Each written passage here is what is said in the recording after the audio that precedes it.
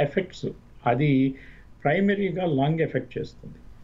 ఆ lung effect అది సివియర్గా వస్తుంది. దాంట్లో ఒక ఐదు పర్సెంట్ పేషెంట్స్ బాగా ఎఫెక్ట్ అవుతారు. ద లంగ్ ఫుల్గా డిస్ట్రాయ్ అయిపోయినట్టుగా ఫుల్గా ఫ్లూయిడ్తో నిండిపోయి ఆక్సిజన్ సప్లై లేకుండా బాడీకి వస్తుంది. ఎంత విపరీతంగా మేము ఎప్పుడూ చూడలేదు. అంటే ఇప్పుడు నాలుగు ఐదు వారాల నుంచి మా హాస్పిటల్లో ఇక్కడ మేము చూస్తున్న కేసులు నేను ఇరవై ఐదేళ్ళ నుంచి ఇక్కడ ప్రాక్టీస్ చేస్తున్నా ఎప్పుడు ఇన్ని కేసులు ఇన్ని ఇంటెన్సివ్ కేర్లు హాస్పిటల్లో ninety percent patients covid patients admit అవటం మేము ఎప్పుడు చూడలేదు. అది ఈ సివియర్ సివియారిటీని బట్టి ఆ సివియారిటీ ఫాస్ట్గా రావటం బట్టి ఈ ఎఫెక్ట్ ఉండటం మనకి దానివల్ల ప్రాబ్లం అవుతుంది. సెకండ్ పాయింట్ ఏంటంటే దీనికి ట్రీట్మెంట్ లేదు. థర్డ్ పాయింట్ వ్యాక్సిన్ లేదు టు ప్రివెంట్ చేయడానికి సో దాని మూలాన ఈ సివియర్ ఎఫెక్ట్స్ వస్తున్నాయి. అండ్ మనకి ట్రీట్మెంట్ లేదు మనకి వ్యాక్సిన్ లేదు. దాని వలన మన ప్రపంచం మొత్తం దీని గురించి భయపడుతుంది.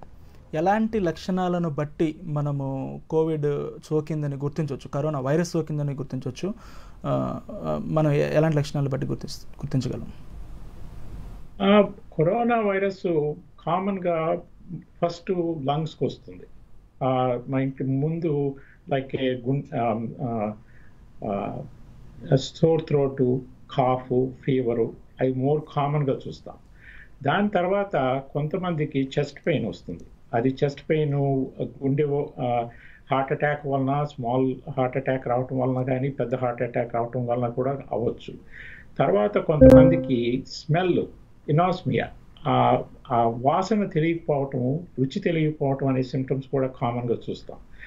ఇంకో కొంతమందికి డయేరియా రావటం కూడా జరుగుతుంది. ఈ మధ్యన కొన్ని కేసులు ఎన్సెఫలోపతి అంటే మనిషి గుర్తుపట్టకపోవటం మాట్లాడకపోవటం స్పృహ పోవటం ఇలాంటివన్నీ కనపడుతున్నాయి. అలాగే కిడ్నీ ఫెయిల్యూరు లివర్ ఫెయిల్యూరు ఇలాంటివి కూడా జరుగుతున్నాయి. దీనివలన వచ్చే ఇబ్బందులు కనపడుతున్నాయి. ఈ అన్ని కేసులు కొత్త కొత్తగా జరుగు కనపడుతున్నాయి. దాన్ని బట్టి నేర్చుకుంటున్నాం.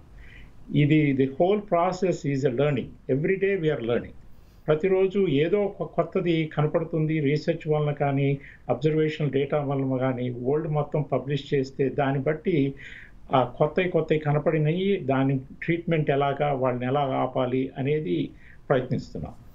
సార్ మీరు రోజు కూడా కోవిడ్ పేషెంట్లకు ట్రీట్మెంట్ అందిస్తూ ఉన్నారు. ఏ తరహా వ్యక్తులు ఎక్కువగా ఈ ప్రభావానికి గురవుతున్నారు వైరస్ ప్రభావానికి గురవుతున్నారు? అంటే ఇప్పుడు కోవిడ్ ఇన్ఫెక్షన్ వచ్చినప్పుడు మెయిన్గా త్రీ కేటగిరీస్ చూసుకోవాలండి. ఒకటి eighty percent of the patients వాళ్ళకి ఏం సిమ్టమ్స్ ఉండకపోవచ్చు. సిమ్టమ్స్ ఉన్న మైల్డ్ మన కోల్డ్ వచ్చినట్టు సిమ్టమ్స్ ఉంటాయి. ఒక ఫిఫ్టీన్ పర్సెంట్ ఆఫ్ ద పేషెంట్స్కి moderate to severe symptoms effect అవుతుంది. వాళ్ళకి న్యూమోనియాలు వచ్చి ఆక్సిజన్ అవసరం వచ్చి ఉంటాయి. వాళ్ళు ఆ పేషెంట్లని మనం హాస్పిటల్లో అడ్మిట్ చేసి సపోర్టివ్ కేర్ ఇచ్చి ఆక్సిజన్ ఇవ్వటం జరుగుతుంది. ఇంకా మిగిలిన ఐదు పర్సెంట్ వాళ్ళు క్రిటికల్ కండిషన్లో ఉంటారు. వాళ్ళకి ఈ కరోనా వచ్చినప్పుడు సివియర్ లంగ్ ఎఫెక్ట్ అయ్యి ఆ లంగ్లో నార్మల్గా ఆ లంగ్ టిష్యూ ఆక్సిజన్ మనం గాలి పీల్చుకున్నప్పుడు ఆక్సిజన్ లంగ్ సెల్స్లోంచి అల్వ్యులై నుంచి ఆ లంగ్ రక్తనాళాల్లోకి వెళ్ళి ఆ రక్తనాళాల నుంచి మనకు ఆక్సిజనేషన్ ఆల్ బాడీ వస్తుంది. ఇప్పుడు ఆ సెల్స్ అన్ని బాగా థిక్గా డెవలప్ అయి స్వెల్లింగ్ అయిపోయి ఉబ్బిపోయి దానితో పాటు మీగడ లాంటి పదార్థం అందులో డెవలప్ అయ్యి మొత్తం వైట్ అవుట్ అయిపోతుంది లంగ్. మామూలుగా చెస్ట్ ఎక్స్రే చూస్తే నల్లగా ఉంటుంది గాలిగా ఉన్నప్పుడు ఎయిర్ మనకు ఆక్సిజన్ ఉన్నప్పుడు. ఈ కరోనా లంగ్ చూస్తే ఫుల్గా వైట్ అయిపోయి ఉంటుంది. దాన్ని వైట్ అవుట్ లంగ్ అంటాం. ఇప్పుడు అది ఒక ఫైవ్ పర్సెంట్ ఆఫ్ పేషెంట్స్ ఉంటారు క్రిటికల్ కేర్ పేషెంట్స్.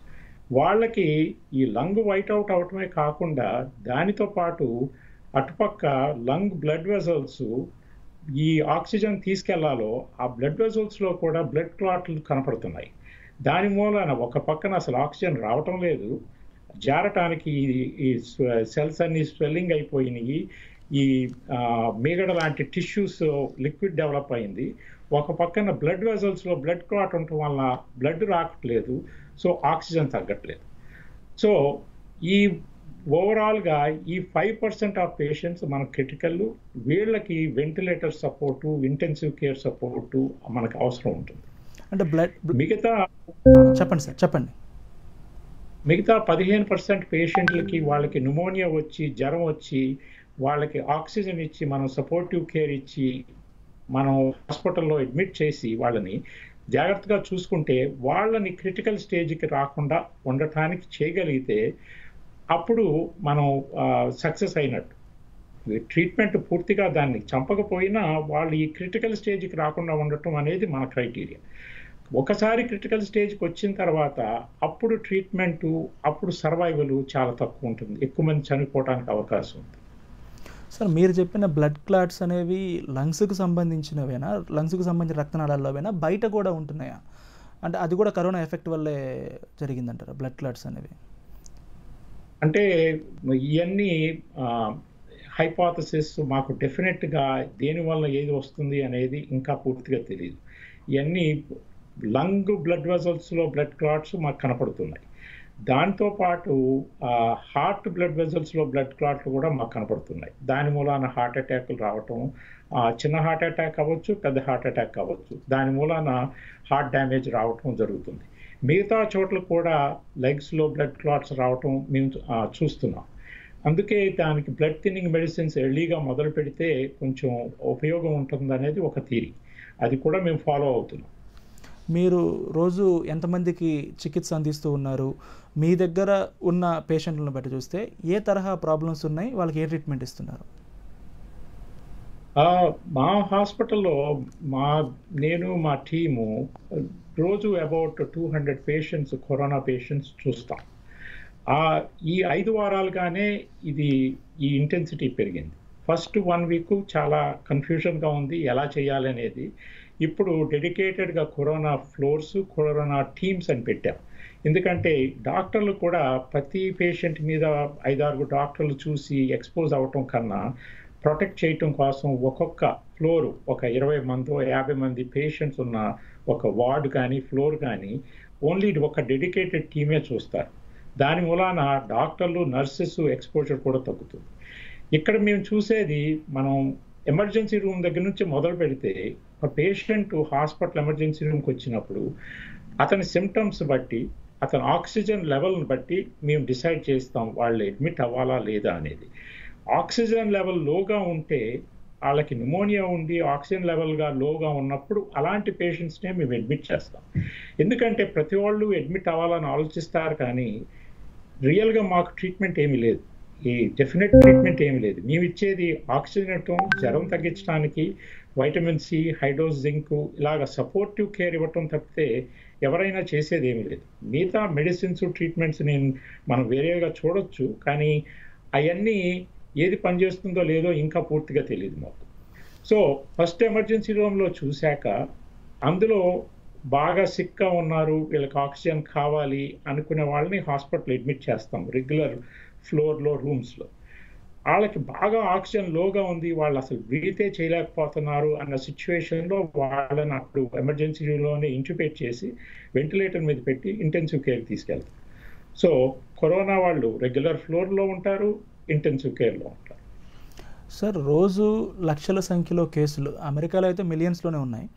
ఇంతమంది ఆసుపత్రులకి వస్తూ ఉంటే అక్కడుండే వైద్య సౌకర్యాలు సదుపాయాలు సరిపోతున్నాయా? అందరికీ వైద్యం అందుతుందా? అంటే ప్రస్తుతం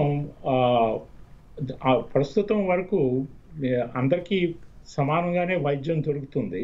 కాకపోతే కొంతమంది ఈ కరోనా భయంతో అసలు హాస్పిటల్కే రావటం లేదు. వాళ్ళు అక్కడ ఇంట్లోనే చనిపోవటం కూడా జరుగుతుంది. అంటే కేర్ తీసుకోక. హాస్పిటల్ వచ్చిన వాళ్ళకి మిగతా ట్రీట్మెంట్స్ మిగతా హార్ట్ హార్ట్ రిలేటెడ్ కానీ ఏ ఏ ఇబ్బందులు డయాబెటీస్ కానీ ఇవన్నీ ఆ పేషెంట్లందరినీ పక్కకు పెట్టాం. ఎమర్జెన్సీ కాకపోతే ఏ పేషెంట్ ఎలక్టివ్ సర్జరీస్ నీ రీప్లేస్మెంట్లు హిప్ రీప్లేస్మెంట్లు ఇలాంటి అన్ని కార్డియా క్యాథరైజేషన్లు అన్నీ ఆపేశాం. ఎందుకంటే అన్ని బెడ్స్ హాస్పిటల్లో ఉన్న బెడ్స్ అన్ని ఏడు వందల బెడ్స్ ఉంటే ఏడు వందలు కరోనా పేషెంట్స్కి అవైలబుల్గా ఉండాలని లేకపోతే రియల్లీ ఎవరైనా హార్ట్ అటాక్ వచ్చినా స్ట్రోక్ వచ్చినా సీరియస్ ఎమర్జెన్సీ అయితేనే హాస్పిటల్లో అడ్మిట్ చేయడానికి ఉండాలని ఈ పేషెంట్స్లో ప్రస్తుతం ninety percent of the patients corona ఉన్నవాళ్ళు. వాళ్ళు ఫ్లోర్లో ఉండని ఇంటెన్సివ్ కేర్లో ఉండండి ఇంటెన్సివ్ కేర్ వెంటిలేటర్స్ అవసరం చాలా ఎక్కువైంది. ఎందుకంటే ఒకేసారి ఇంతమంది ఆ ఆక్సిజన్ బాగా తక్కువలో రావటం వాళ్ళకి ఇంటిబేట్ చేయటం వెంటిలేటర్ మీద పెట్టడం జరుగుతుంది. అలా జరిగినప్పుడు ఇంక ఉన్న వెంటిలేటర్స్ ఇంటెన్సివ్ కేర్ బెడ్స్ అయిపోతే ఇప్పుడు ఈ కొత్త పేషెంట్స్కి ఇంకా వేరే లేవు. దానికోసం ఫస్ట్ వన్ వీక్లో టూ వీక్స్లో మేము almost intensive care beds double చేసాం మా హాస్పిటల్లో around fifty five intensive care beds ఉంటే నా హండ్రెడ్ బెడ్స్ చేసాం దాని మూలాన ఎక్కువ అవైలబిలిటీ ఉండటం వలన సో ఈ వెంటనే వాళ్ళని ఇంటెన్సివ్ కేర్ వెంటిలేటర్ పెట్టాల్సి మేము వెంటనే పెట్టగలుగుతాం. ఇంకో విషయం ఏంటంటే నార్మల్గా సిక్గా పేషెంట్లు ఉన్నోళ్ళు మేబీ ఇంటెన్సివ్ కేర్లో ఉంటే మూడు రోజులు నాలుగు రోజులు ఐదు రోజులు ఉంటారు. కాకపోతే కరోనా పేషెంట్లు వెంటిలేటర్ మీద రెండు వారాలు మూడు వారాలు ఉంటున్నారు అలా ఒక్కొక్క పేషెంట్ అన్ని రోజులు ఉన్నప్పుడు కొత్త పేషెంట్స్ వస్తూనే ఉన్నారు. పాత పేషెంట్లకి మంచిగా అంటే వాళ్ళు రికవర్ అవ్వటం లేదు. సో దాని మూలన నెసెసిటీ ఎక్స్పాన్షన్ చేయాల్సి వచ్చింది. సేమ్ అన్ని ఫ్లోర్స్ అన్ని బెడ్స్ ఎక్సెప్ట్ ఎమర్జెన్సీస్ మిగతా అన్నీ మిగతా అన్ని ట్రీట్మెంట్స్ ఆపేసి ఓన్లీ కరోనా ట్రీట్మెంట్సే జరుగుతున్నాయి. మొత్తం మీద అంటే మీ ఆసుపత్రినే కాదు మొత్తం మీద రేట్ ఆఫ్ స్ప్రెడ్డింగ్ చూసుకున్నట్లయితే ఇదే రీతిలో పెరుక్కుంటూ వెళ్తే ఆసుపత్రులన్నీ కూడా నిండిపోయి ఇబ్బంది అయ్యే పరిస్థితి కనిపిస్తుంది అసలు వెంటిలేటర్లకు కొరత కూడా ఏర్పడే అవకాశం ఉంది. అయితే అసలు వెంటిలేటర్ అనేది ఏ సందర్భాల్లో అవసరం అవుతుంది? కరోనా పేషెంట్కి వెంటిలేటర్ అనేది ఏ సందర్భంలో అవసరం అవుతుంది? ఒకవేళ ఇప్పుడు పెరుగుదల రేటు ప్రకారం చూసుకున్నట్లయితే అందరికీ వెంటిలేటర్స్ సరిపోతాయా? Um, అది గుడ్ క్వశ్చన్ అండి. అందుకే మీరు టీవీలో అది చూసే ఉంటారు. న్యూయార్క్ మేయర్ అందరూ మాకు వెంటిలేటర్ ఎక్స్ట్రా కావాలి ఎక్స్ట్రా కావాలి అని అడుగుతా ఉన్నారు. కొత్త వెంటిలేటర్స్ తయారు చేస్తున్నారు సప్లై చేస్తున్నారు. ఫెడరల్ గవర్నమెంట్ నుంచి స్టేట్ గవర్నమెంట్ కూడా ఎక్వైర్ చేసుకుంటున్నారు. ఒక్కొక్క స్టేట్ వాళ్ళకి ఎక్కువ ఉంటే ఇంకో స్టేట్ హెల్ప్ చేస్తున్నారు ఆ వెంటిలేటర్స్ పంపిస్తున్నారు. ఓవరాల్గా వెంటిలేటర్స్ అవసరం ఎక్కువ ఉంది. కాకపోతే మనం ఈ సోషల్ డిస్టెన్సింగ్ ఈ లాక్డౌన్ వలన నెంబర్ ఆఫ్ కేసెస్ తగ్గితే ఆ రిక్వైర్మెంట్ కూడా తగ్గిపోతుంది. హాస్పిటల్లో పేషెంట్లు అడ్మిట్ తగ్గుతుంది దాంతో వెంటిలేటర్ రిక్వైర్మెంట్ కూడా తగ్గుతుంది. ఇప్పుడు వెంటిలేటర్ మీద ఉన్న పేషెంట్స్ని వాళ్ళు why why only certain people go to ventilators అంటే కొంతమంది వెంటిలేటర్స్కి ఎందుకు వెళ్తున్నారు? ఆ five percent of the patients క్రిటికల్గా ఉన్న వాళ్ళే వెంటిలేటర్కి వెళ్తున్నారు. దానికి కూడా ఒక పర్టికులర్ మెకానిజం ఉంది. సైటోకైన్ స్టామ్ అని ఆ నా ఫోర్ ఫైవ్ పర్సెంట్ ఆఫ్ పేషెంట్స్కి ఆ సైటోకైన్ స్టామ్ వస్తే అది ఒక ప్రోటీన్ ఆ బాడీని రియాక్ట్ అయ్యే ఇమ్యులాజికల్ ఫైటింగ్ ప్రోటీను అది విపరీతంగా పెరిగిపోతుంది బాడీలో అది పెరిగినప్పుడు సైటోకైన్ స్టామ్ పెరిగినప్పుడు వాళ్ళు డిట్యూరేట్ అయిపోతారు ర్యాపిడ్గా దాని ఎఫెక్ట్ వలన అలా ఆ లంగ్ ఫుల్గా వైట్ అవుట్ అవ్వటము దానివల్ల ఆక్సిజన్ లెవెల్స్ బాగా లోగా అవ్వటము అలాంగ్ విత్ ఇట్ దానివలన హార్ట్ అటాకులు రావటము లివర్ కిడ్నీ ఫెయిల్యూర్స్ రావటము మల్టీ ఆర్గన్ ఫెయిల్యూర్స్ రావటం జరుగుతుంది. సో ఆ వచ్చిన ఐదు పర్సెంట్ పేషెంట్లకే ఈ ventilators intensive care critical care treatment అవసరం ఉంటుంది. అది ఎలాగ ఆపాలి అనేది చాలా ప్రయత్నాలు జరుగుతున్నాయి. అది ఆపగలిగితే ఈ వెంటిలేటర్లు అవసరము ఇంటెన్సివ్ కేర్ అవసరము ఇంత సివియారిటీ డెత్ రేట్ కూడా కొంచెం తగ్గుతుంది. వెంటిలేటర్ కాకుండా మీరు మీ దగ్గర ఫాలో అయ్యేటువంటి ట్రీట్మెంట్ సీరియస్ ట్రీట్మెంట్ ఇంకేముంది? వెంటిలేటర్ కాకుండా కరోనా పేషెంట్లకి తగ్గించడం కోసం. అసలు వెంటిలేటర్కి రానివ్వకుండా ముందుగానే హై ఫ్లో ఆక్సిజన్ అనేది ఒకటి కొన్ని మెడిసిన్స్ వాడటం వలన ఆ లంగ్స్ని కొంచెం డ్రైగా పెట్టి ఆ బ్లడ్ వెసల్ లంగ్ బ్లడ్ వెజల్స్ని కొంచెం డైలేట్ చేసి నైట్రిక్ ఆక్సైడ్ అనే ఆక్సిజన్ ఇవ్వటం అని లేకపోతే ఎసిటజోలోమైడ్ అనేది హై ఆల్టిట్యూడ్ సిక్నెస్కి వాడతాం. మనం కొండపైకి వెళ్ళినప్పుడు బాగా హిమాలయాల్లో అలాంటి చోట్లకి ఆక్సిజన్ లెవెల్ లోగా ఉంటుంది కాబట్టి బ్లడ్ ఎక్కువ ఆక్సిజన్ క్యారీ చేయడానికి ఆ మందులు వాడతాం. ముందుగానే ప్రిపేర్ చేస్తాం పేషెంట్ని అలాంటి వాడి ఈ మధ్యన లాస్ట్ టూ త్రీ వీక్స్ నుంచి ఎక్కువ ఆ డైరెక్షన్లో వెళ్తున్నాం. ఎందుకంటే అసలు వెంటిలేటర్ మీద పెట్టకుండానే వీళ్ళని మేనేజ్ చేయగలిగితే బెటరా అనేది. అది సోఫార్ కొంచెం సక్సెస్ఫుల్గా ఉన్నట్టు కనపడుతుంది. కరోనా పేషెంట్లో ఇప్పుడు ఒక కొత్త కోణం కనిపిస్తుంది. కొన్ని స్టడీస్ చెప్పేది ఏంటంటే పేషెంట్లు వస్తూ ఉన్నారు. చాలామందికి ఈసీజీ రీడింగ్స్ చాలా హైలో కనిపిస్తున్నాయి. అంటే సిమ్టమ్స్ బ్లడ్ క్లాట్స్ ఉన్నటువంటి సిమ్టమ్స్ కనిపిస్తూ ఉన్నాయి యాంజియోగ్రామ్ చేస్తే బ్లడ్ క్లాట్స్ ఉండడం లేదు. ఎందుకని అంటే దీనికి సంబంధించి ఏమన్నా విశ్లేషించారా? ఏ- ఎందుకని ఈ పరిస్థితి ఉంది అనేది విశ్లేషించారా? అంటే అది అది వాస్తవమే. ఈసీజీ చేంజెస్ మనకి చూసినప్పుడు హార్ట్ అటాక్ వస్తుంది. పేషెంట్కి హార్ట్ అటాక్ జరుగుతుంది అనేది అనిపిస్తుంది. దాని మూలానే మా ట్రీట్మెంట్ ప్రోటోకాల్ ప్రకారం ఎమర్జెన్సీగా కార్డియా క్యాప్ ల్యాబ్ తీసుకెళ్ళి యాంజియోగ్రామ్ చేసి ఏదన్నా బ్లాకేజ్ ఉంటే ఫిక్స్ చేయటం అనేది కరెక్ట్ ట్రీట్మెంట్. కాకపోతే అలా యాంజియోగ్రామ్ తీసుకెళ్తే కొంతమందికి బ్లాక్స్ కనపడటం లేదు. బట్ ఈసీజీ అబ్నార్మల్గా ఉంది. ఇది కరెక్ట్గా ఎవరికీ తెలియదు ఎందుకు ఇలాగ అవుతుందో. ఇది ఇంకా స్టిల్ అబ్జర్వేషన్గా రీసెర్చ్గా చూస్తున్నారు.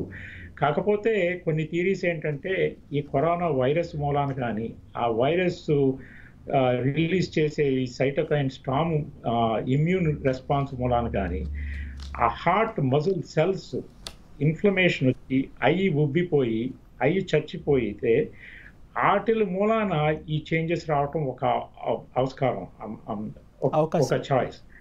అవకాశం ఉంది. ఇంకొకటి చిన్న చిన్న బ్లడ్ క్లాట్స్ వచ్చి ఆ హార్ట్లో స్మాల్ బ్లడ్ వెజల్స్ బ్లాక్ అవుతాయి. కానీ మనం యాంజియోగ్రామ్ చేసినప్పుడు చూసేది పెద్ద వెజల్స్ పెద్ద వెజల్స్ నార్మల్ గానే ఉంటాయి. అదొక అదొక another reason that this can ఇది ఈసీజీ అబ్నార్మల్ యాంజియోగ్రామ్ నార్మల్గా ఉండటానికి ఆస్కారం ఉంది. అసలు ఈ వైరస్కి సంబంధించి హార్ట్ పేషెంట్స్ ఎక్స్ట్రీమ్ వర్నరబుల్ అవుతారా? అంటే ఏ కేటగిరీ హార్ట్ డిసీజ్ ఉన్న వాళ్ళకి ఎక్కువగా సోకేటువంటి అవకాశం ఉంది? అంటే మామూలుగా heart patients high blood pressure ఇంతకుముందు బైపాస్ కానీ స్టెంట్ పెట్టిన వాళ్ళు కానీ హార్ట్ బాగా వీక్ ఉండి హార్ట్ ఫెయిల్యూర్ ఉన్న పేషెంట్స్ వీళ్ళందరికీ ఈ కరోనా వస్తే వాళ్ళ కండిషన్ ఇంకా సీరియస్ అవడానికి అవకాశం ఉంది. అది అందుకోసమే వాళ్ళ వాళ్ళు జాగ్రత్తగా ఉండి అసలు ఈ కరోనా రాకుండా మా శ్రద్ధ తీసుకోవాలని ఐ రికమెండ్ చేస్తాను. ఒకసారి వచ్చిన తర్వాత ఈ కరోనా వచ్చింది ఈ హార్ట్ రిలేటెడ్ ఇందాక హార్ట్ సెల్స్ ఎఫెక్ట్ అవటం అని చెప్పాను. దాన్ని మయోకార్డైటిస్ అంటాం. దాని వలన హార్ట్ మజిల్ బాగా వీక్ అయిపోయి హార్ట్ పంపింగ్ ఫంక్షన్ బాగా తగ్గిపోతుంది టెన్ పర్సెంట్ ట్వంటీ పర్సెంట్లోకి అలాగ తగ్గిపోయినప్పుడు పేషెంట్ బాగా వీక్ అయిపోయి బ్లడ్ ప్రెషర్లో అయిపోయి and heart irregular heart beats వచ్చి హార్ట్ ఆగిపోవటానికి అవస్కారం అవకాశం ఉంది. దాని మూలాన పేషెంట్కి చనిపోవటానికి కూడా ఆస్కారం ఉంది.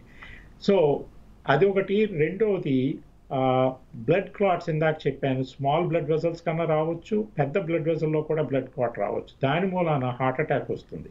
స్మాల్ హార్ట్ అటాక్ రావచ్చు బిగ్ హార్ట్ అటాక్ రావచ్చు. ఈ హార్ట్ అటాక్ రావటం వలన కూడా పేషెంట్ ఇంకా వరుస ఈ కరోనా పేషెంట్ చనిపోవటానికి అవకాశం ఉంది. So overall heart is going to be affected. Corona పేషెంట్లకి నార్మల్గా హార్ట్ ఉన్న వాళ్ళకు కూడా ఎఫెక్ట్ అవకాశం అవకాశం ఉంది. అలాంటి పేషెంట్స్ కరోనా వచ్చి హార్ట్ కూడా ఎఫెక్ట్ అయితే ఫిఫ్టీ పర్సెంట్ ఆఫ్ దెమ్ చచ్చిపోవటానికి అవకాశం ఉంది. అదే కరోనా వచ్చి వాళ్ళకి ప్రీవియస్ హార్ట్ డిసీజ్ ఉండి ఆ దానిపైన మళ్ళీ ఎడిషనల్ హార్ట్ ప్రాబ్లం కరోనా వల్ల వస్తే స్మాల్ హార్ట్ అటాక్ కానీ మైకార్డిటిస్ కానీ seventy to seventy five percent చనిపోవడానికి అవకాశం ఉంది. సో దాని మూలాన వీళ్ళ మొర్టాలిటీ రేట్ చాలా ఎక్కువ కాబట్టి ఇంకా ఎక్కువ జాగ్రత్తలు తీసుకోవాలి. అంటే ఇప్పటికే హార్ట్ డిసీజ్ ఉన్న వాళ్ళకి అంటే స్టెంట్ ఉన్న వాళ్ళకి కానీ లేకపోతే వేరే వేరే బైపాస్ చేసిన వాళ్ళకి కానీ హార్ట్ డిసీజ్ ఉన్న వాళ్ళకి కరోనా వచ్చేటువంటి ఆస్కారం ఒకటి. అలాగే మామూలు పేషెంట్లకి కరోనా వచ్చాక హార్ట్ డిసీజ్ వచ్చేటువంటి ఆస్కారం ఒకటి.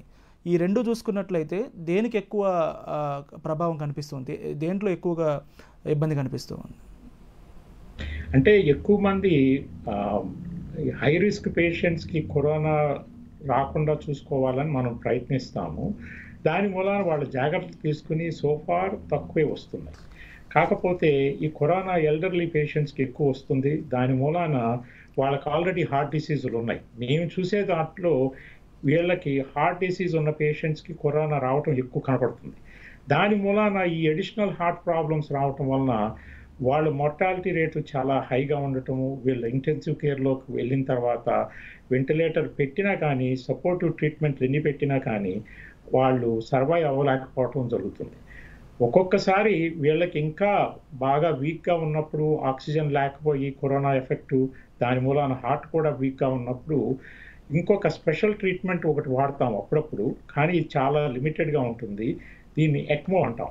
ఎక్స్ట్రా కార్పోరియల్ మెంబ్రైనస్ ఆక్సిజనేషన్ అది బాగా సిక్గా ఉన్న పేషెంట్లకి అలాంటిది మెషిన్ పెట్టి దాన్ని బ్లడ్ బాడీ నుంచి బయట తీసుకొచ్చి బయట ఆక్సిజనేట్ చేసి మళ్ళీ బాడీలో పెట్టడం జరుగుతుంది.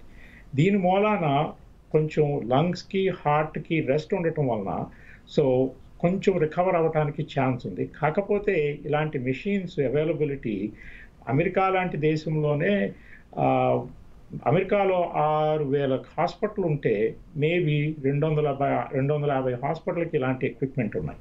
సో దీనివల్ల మీకు తెలుస్తుంది ఎంత అరుదుగా ఉంటాయో ఈ మెషిన్స్ సో ఇలాంటి చాలా సెలెక్టెడ్ పేషెంట్స్కే వాడతాం సార్ వ్యూహాన్లో వచ్చినటువంటి మొత్తం పేషెంట్లు స్టడీ చేస్తే డేటా విశ్లేషిస్తే ప్రతి ఐదుగురిలో ఒకరికి హార్ట్ ఇబ్బంది జరిగింది గుండెపైన ప్రభావం చూపింది.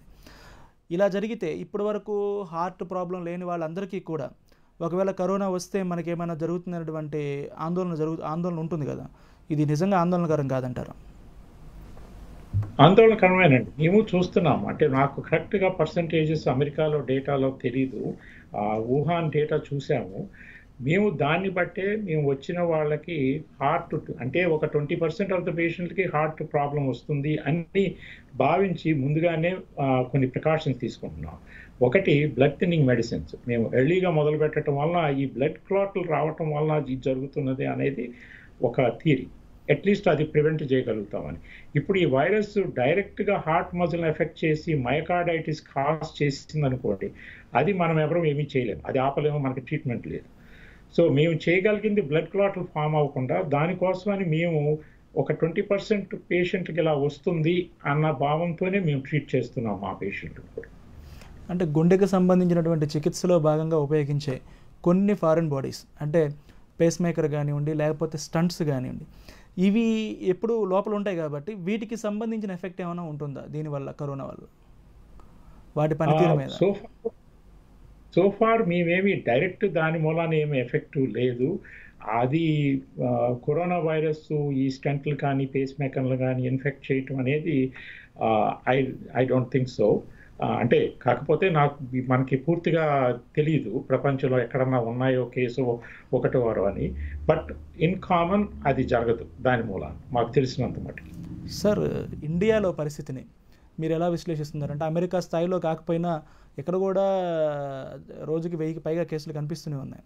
ఇండియాలో పరిస్థితిని ఎలా విశ్లేషిస్తున్నారు? ఇండియాలో మీరు కంపేర్ టు మా ఇండియా పాపులేషన్ తోటి ఆ కేసులు చాలా తక్కువ కింద లెక్కేసుకోవాలి. కాకపోతే పెరుగుతున్నాయి కాబట్టి మనం సీరియస్ కన్సర్న్గా ఉండాలి. ఇండియాలో లాక్డౌన్ చేయటం చాలా హెల్ప్ చేసిందని నేను అనుకుంటున్నాను. అది చాలా ఇంపార్టెంట్ స్టెప్. అది లాక్డౌనే కాకుండా ఒకటి ఇది ఇంకా సోషల్ డిస్టెన్సింగ్. ప్రతి ఒక్కరూ అది ఫాలో అవుతే దాని మూలాన ఇది స్ప్రెడ్కి తగ్గటం జరుగుతుందని నేను అనుకుంటున్నాను. అంటే నాకు తెలిసినంత మటుకు ఇండియాలో ఒక హాస్పిటల్లో వంద వెంటిలేటర్లు పెట్టాలి అంత క్రిటికల్ కేర్ పేషెంట్లు మేనేజ్ చేయాలి అంటే అది చాలా కష్టమైన పని నాకు అనుకుంటున్నాను. సో ఆ స్టేజ్కి రాకుండా ప్రివెంట్ చేసుకోగలిగితే that will be the best prevention ఇంకా ఇండియాకి సంబంధించి ప్రివెన్షన్ ఇంకా వేరే మార్గం లేదు. అంటే అంటే మనకి ఈ కరోనా వైరస్కి ట్రీట్మెంట్ ఇంకా లేదు. రేపు వస్తుందో ఎల్లుండి వస్తుందో తెలియదు అది వస్తే దెన్ అప్పుడు భయపడక్కర్లేదు. అప్పుడు దాకా I think prevention is the best thing. Sir ఇప్పటి వరకు అందుతున్నటువంటి చికిత్సా విధానం కానీ మనం ఏం ఫాలో అవుతున్నామో దాన్ని బట్టి కానీ లేకపోతే పరిశోధనలో ఉన్నటువంటి విషయాలను పరిశీలించాక కానీ ఇవన్నీ బేరీజ్ వేసుకున్నాక ఎప్పటిలోగా పరిస్థితి అదుపులోకి రావచ్చని మీరు అనుకుంటున్నారు? అంటే ప్రస్తుతం ఇది prevention is still the number one thing మనం నెంబర్ ఆఫ్ కేసెస్ తగ్గించుకోగలిగితే దానివలన మనం సర్వైవల్ బెటర్గా ఉంటుంది. That is the number one treatments ప్రస్తుతం చాలా రకాలు ట్రై చేస్తున్నారు. యాంటీవైరల్ డ్రగ్స్ అని యాంటీ పారాసైటిక్ డ్రగ్స్ కానీ ఈ ఇమ్యూన్ రెస్పాన్స్ను బ్లాక్ చేసి యాంటీ ఐఎల్ సిక్స్ డ్రగ్స్ కానీ అండ్ ఆల్సో కొత్తది కన్వల్సెంట్ ప్లాస్మా అంటే ఈ కరోనా వైరస్ వచ్చిన పేషెంటు వాళ్ళు క్యూర్ అయిపోయిన తర్వాత వాళ్ళ బాడీలో యాంటీబాడీస్ ఉంటే ఆ యాంటీబాడీస్ ఆ బ్లడ్ ప్లాస్మా తీసుకుని కరోనా సిక్గా ఉన్న పేషెంట్కి ఇస్తే ఆ యాంటీబాడీస్ని కరోనా కిల్ చేస్తుంది అనే ఒక ఆలోచన. దా అలాంటి ట్రీట్మెంట్స్ అన్నీ వాడుతున్నారు కానీ ఇంకా మనకు పూర్తి డేటా లేదు. ఒక నెల రెండు నెలల్లో కొంచెం డైరెక్షన్ బెటర్ డైరెక్షన్ వస్తుందని నేను అనుకుంటున్నాను. ఏంటి ఈ డైరెక్షన్ మనం చూసేది ఏంటి? రెండు రకాలు. ఒకటి ఏ మందు మనం కరోనా వైరస్ని చంపుతుంది? రెండోది ఏ మందు వలన కరోనా వైరస్ వలన కా కలిగే ఈ సైటోకైన్ స్టాము ఈ ఎఫెక్ట్స్ అన్ని మనం బ్లాక్ చేయగలుగుతాము. ఆ రెండిట్లో ఏది ఒకటి దొరికినా మనకి మంచి హోప్ ఉంటుంది. ఇంకా అల్టిమేట్గా ప్రివెన్షన్ అంటే మనకి వ్యాక్సిన్. అది వ్యాక్సిన్ రావడానికి ఇంకా టైం పడుతుంది. Thank you sir. Thank you very much. అది మహేష్ గారు చెబుతున్నది గుండె జబ్బులను ట్రీట్ చేయడంలో సుదీర్ఘ అనుభవం ఉన్నటువంటి ఆయన సూచిస్తున్నారు.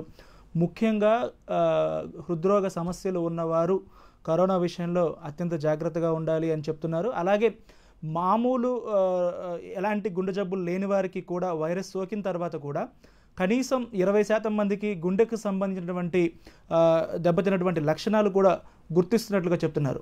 ఈ పరిస్థితుల్లో ప్రతి ఒక్కరూ కూడా కరోనాకు గురి కాకుండా ముందు జాగ్రత్తలు తీసుకోవడం అనేది అత్యంత అవసరం. అలాగే ఇప్పుడు అందుబాటులో ఉన్నటువంటి సమాచారం డేటాను విశ్లేషించిన తర్వాత కానీ లేకపోతే అందుతున్నటువంటి చికిత్సా విధానాలను పరిశీలించిన తర్వాత కానీ చూస్తే ఒక రెండు మూడు నెలల్లో మరింత పురోగతి కనిపిస్తుందని ఆయన చెప్తున్నారు. మొత్తం మీద కరోనాకి విరుగుడు ముందుగా సామాజిక భౌతిక దూరం పాటించటం అలాగే పూర్తిగా చికిత్స ఇది పూర్తిగా నిర్ నిర్మూలించడం అంటే వ్యాక్సిన్ వచ్చాకే ఆయన చెప్తూ ఉన్నారు. నాగేశ్వరరావు ईटीवी भारत